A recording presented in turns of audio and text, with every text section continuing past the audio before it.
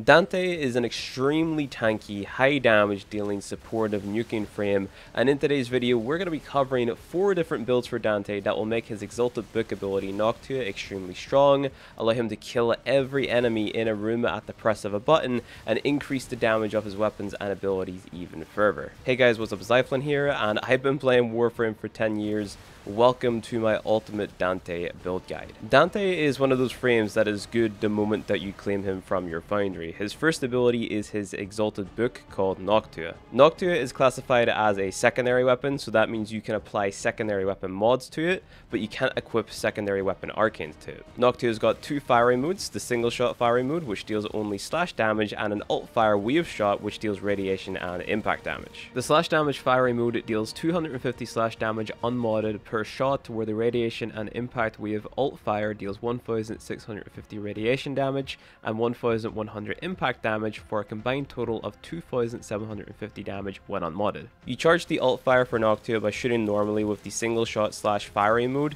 As you land hits with the single shot firing mode, a bar beneath your crosshair will fill up, once filled, you press middle mouse button, then Noctua is going to shoot the radiation and impact wave. This bar also fills a tiny bit passively as well. Dante's second ability is called Lightverse. This ability on cast will regen a percentage of lost health and grant Overguard to Dante himself and nearby allies. Overguard is like a shield over the top of your original shield and health bar, when you have Overguard, you can't be knocked over and you won't be affected by any status effects, for example, bleed procs or toxin procs. The amount of health and Overguard granted is increased with power strength mods such as Intensify, these mods go onto your Warframe, and the radius that the ability covers, aka how close your teammate needs to be to you to receive the benefits, is increased by power range mods such as Stretch, this is also equipped to your frame. Dante's third ability, Dark Verse, is a damage dealing ability that deals two instances of 1200 250 slash damage with guaranteed slash procs to enemies in front of him up to 20 meters in a 50 degree cone line of sight. The amount of damage the Dark Verse deals can be increased with power strength mods and the range the Dark Verse damages enemies is affected by power range mods. The line of sight angle cannot be increased nor decreased by mods. Dante's fourth ability, Final Verse, is actually four different abilities in one. Which ability you cast when you press 4 is determined by the order that you last pressed Dante's second and third ability. If you cast the second ability Light Verse two times in a row and then press 4, Dante will cast Triumph. Triumph gives you an even bigger amount of Overguard, 3000 Overguard when unmodded, and while Dante is max rank, if that wasn't enough Overguard, you can recast the ability until you reach up to 15,000 Overguard. Triumph also grants Overguard regeneration on kill and assist, which allows you to refresh the 500 millisecond Overguard gate permanently, similar to shield gating so you can basically never die. The amount of Overguard gained and the maximum amount of Overguard that you can have on your frame from Dante's abilities is affected by power strength mods. If you cast the third ability, Dark Verse, two times in a row and then cast this 4, you're going to cast Tragedy. Tragedy will deal additional slash damage to those caught in the radius of the ability, and it will also detonate damage over time status effects such as slash heat, and toxin in a damage burst, which will multiply the damage that the status effects were meant to do. The amount of damage the tragedy deals and the status effects damage multiplier is increased by power strength mods. You also need to equip power range mods to increase the range of this ability. If you first cast Light Verse, the second ability, followed by Dark Verse, the third ability, your fourth ability will cast Word Warden, which will give you the Noctua book as a companion. Noctua will shoot at the same time you fire your gun and will deal 50% of the damage that you're dealing. If an ally is close enough to you when Word Warden is cast, they will also receive a copy of Noctua following them around. You can increase the damage that Word Warden deals via modding your Noctua book and increase increasing power strength on Dante. You can also increase the duration of Word Warden, so that's how long he follows you around for by using ability duration mods such as continuity, and you can increase how far a Word Warden cast reaches by throwing on power range mods on your frame. If you first cast Dark Verse, the third ability, followed by Light Verse, the second ability, your fourth cast will cast Page Flight. Page Flight will spawn in free birds that will seek out and attack enemies dealing slash damage, while also making the enemies more vulnerable to status effects and increasing the amount of damage dealt by them. The slash damage, the status vulnerability, and the status effect damage increase from this ability are all affected by power strength mods. How long this ability lasts for is also increased by power duration mods. Dante's passive ability is somewhat inconsistent to take advantage of as it requires you to fully scan the enemies that you're facing into your codex. Once an enemy is fully scanned, they'll become debuffed by a debuff called Chronicler's Mark, which grants Dante's weapons, including the ability Noctua and Word Warden, 50% extra status chance. As you get kills with Noctua, Dante's first ability, you'll get one codex scan for the slain enemy per kill, so you can complete some of the scans just by killing enemies with Noctua. Now that we understand all of Dante's abilities and how they work, we're going to talk about how to mod them and make powerful builds for different playstyles that Dante's abilities enable. The first of which is a build that makes use of all of his base abilities, but is centered around getting as much damage out of his first ability Noctua as possible. This is Dante's Book DPS build. On this build, we run very high strength and high duration. We totally neglect ability efficiency as we have other ways of sustaining energy that we're going to talk about in a little bit. Our ability range stat is on the lower end, but even so, the abilities that require range still have around a 15 to 23 meter radius, which is a large enough area for what we need them to do. We mainly focus on increasing our ability strength as higher ability strength values means more damage and effectiveness across all of our abilities. Ability duration comes in second in priority as it increases how long Word Warden and Page Flight lasts. These two abilities, when cast, will increase our damage in their own unique ways. To increase our ability strength, we're using the mods Transient Fortitude, Blind Rage, Umbral Intensify, Power Drift, power in the aura, and the arcane known as Molt Augmented, which you can pick up from Cavalero in the Zariman, or as a random drop from killing Thrax enemies in Zariman missions. To increase our ability duration, we're running Narrow-Minded and Prime Continuity. For energy sustain, we're going to be running Prime Flow to increase our max energy, and Equilibrium so health orbs also work as energy orbs. Then finally, we have Archon Stretch On, which is going to get us a little bit of range for our abilities, counteracting the negative effect to range that Narrow-Minded has. Archon Archon stretch also has the added benefit of restoring our energy at a rate of 2 energy per second if one of our abilities deals electric damage. This isn't what I'm going to be using on this build to sustain my energy, but I've thrown it on so you guys have the option of running it in case you want to use electric damage on your Noctua. Speaking of Noctua, he counts as a secondary weapon and we have three builds that I recommend running depending on the content that you're doing. First up, we have a viral slash build where we're running Hornet Strike for damage, Anemic Agility, and Lethal Torrent for fire rate and multi-shot, Galvanized Diffusion for even more multi-shot, Prime Pistol Gambit and Prime Target Cracker for critical chance and critical damage. Then finally we have Frostbite for cold and Pistol Pestilence for toxin to give us viral damage. As Noctua's single shot firing mode is mainly slash damage, using viral damage as an elemental damage type is great as the status effect from viral will increase the amount of damage that our slash procs aka the bleeding effect will deal to enemies. Remember that slash procs deal damage to enemies health directly through their armor or shields which makes the build great in higher level content where the enemies have higher armor values and become more tanky. Second, we have a build for the Murmur faction, as these enemies are quite tanky and have a lot of different armor, we run Corrosive and Radiation as our elements to deal the highest number of damage possible directly to the enemies. In this build, we have Hornet Strike for damage, Galvanized Diffusion and Lethal Torrent for multi-shot, Prime Pistol Gambit and Prime Target Cracker for critical chance and critical damage, Prime Convulsion for electric, and Pathogen Rounds for toxin to make corrosive, then finally Accelerated Isotope for radiation damage and additional fire rate, paired with the fire rate buff from Lethal Torrent as well. Our third build isn't the highest damage dealing build for Noctua, it's more of a supportive utility build that will increase our duration, efficiency, strength, and give us energy regen by using the Riss, Netra, Vome, and Xata invocation mods when we use Noctua's alt fire and hit multiple enemies.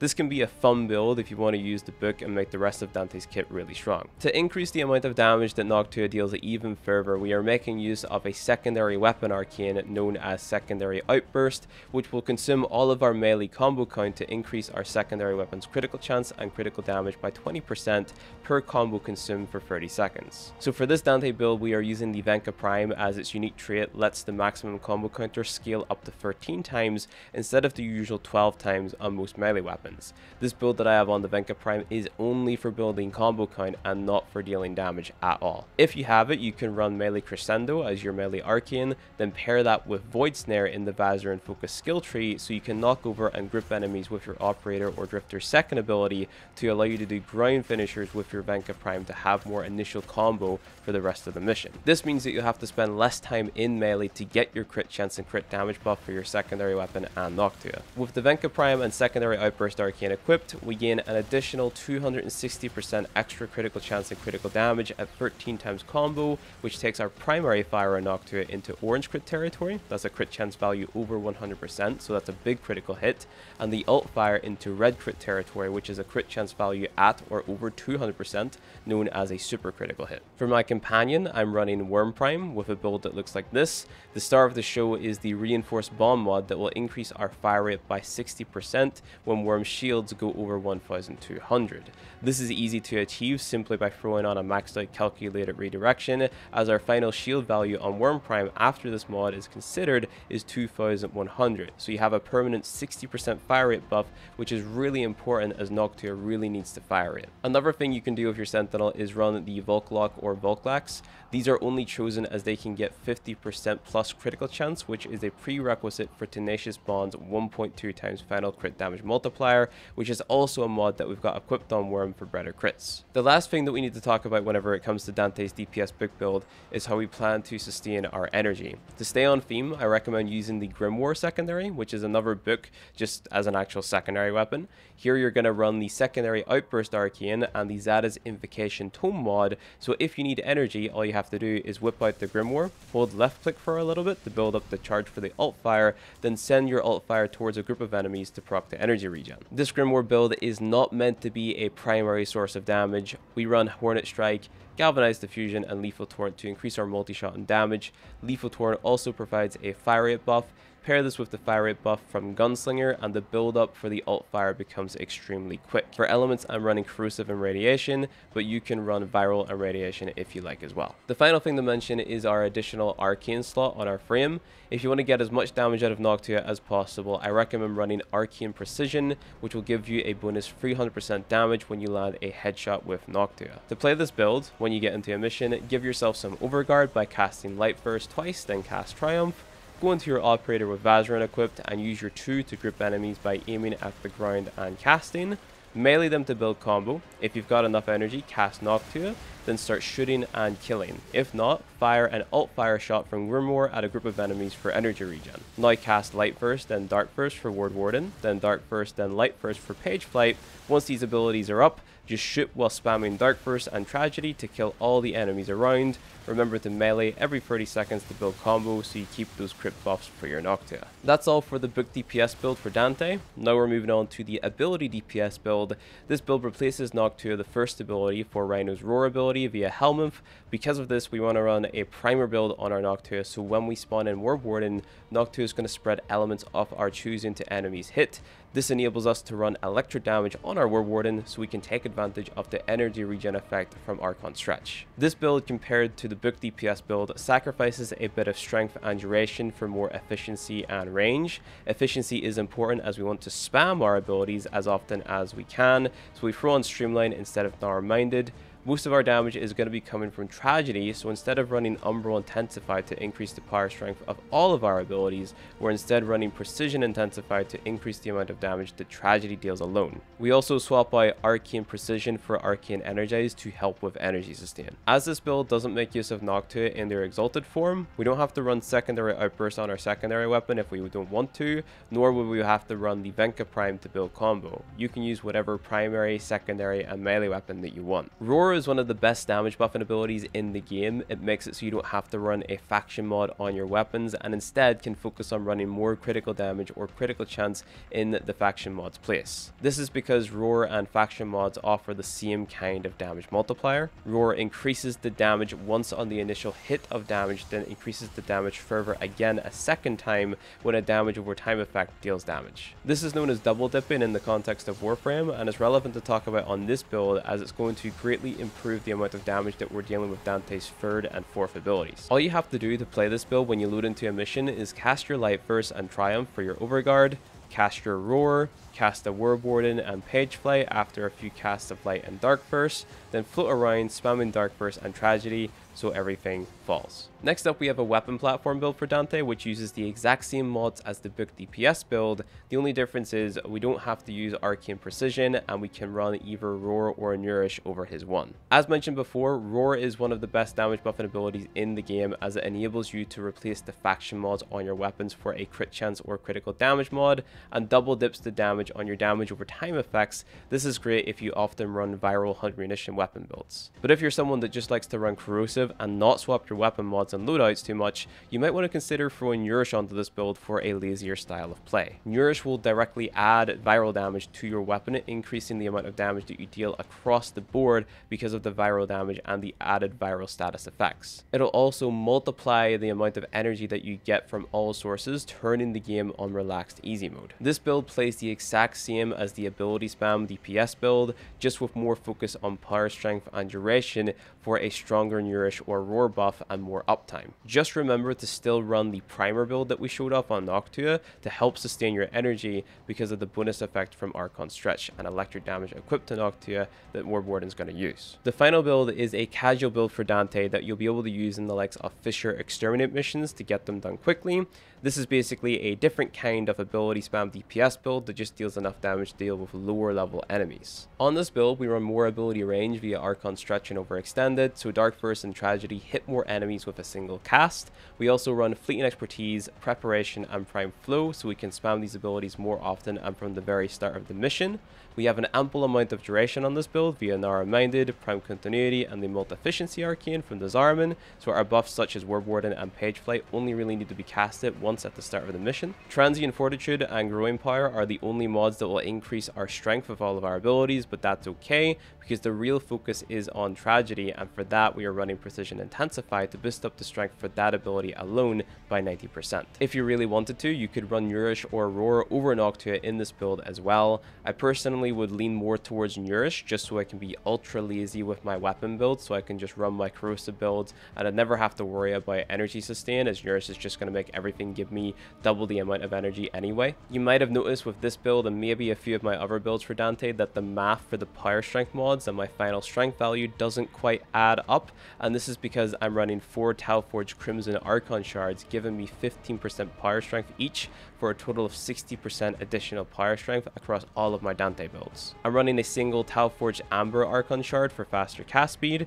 If you want it, you could run 2 Tauforged or 2 normal for extra cast speed, it's entirely down to you. Additionally, you could consider running 2 normal Emerald shards if you often run corrosive damage on your weapons, as this is going to enable you to apply more corrosive procs to enemies to full strip their armor so you can deal more damage. The bare minimum that I recommend running is either 2 normal Amber shards or 1 Tauforged Amber shard for casting speed, and depending on how many Amber shards you throw on, that's going to determine how many Crimson shards you throw on for additional power strength. I recommend at the very least one, then the final Archon shard slots that you've got, you can throw anything on that you want. I recommend either more Crimson shards or two Emerald shards. And that is all for my ultimate Dante build guide. If you liked the video, go ahead, leave a like. Let me know if you used the build down in the comment section below and what you think of it. And make sure to subscribe as I'm going to be updating all of my Warframe builds over the course of 2024. So go ahead, hit sub and stay tuned for that. Thanks for watching and I'll see you guys in the next one.